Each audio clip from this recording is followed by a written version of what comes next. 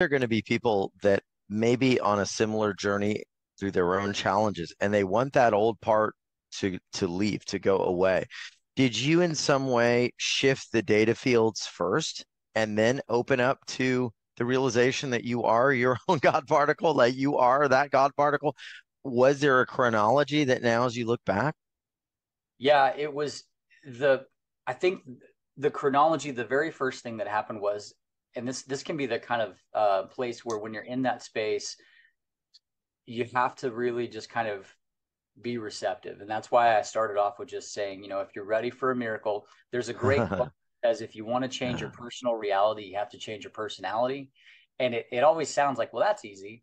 And then we start to encounter the change. And i'll go back to that intrinsic data field if you think about all of the sort of program stories of who we are are like yeah. but this this is literally pushing against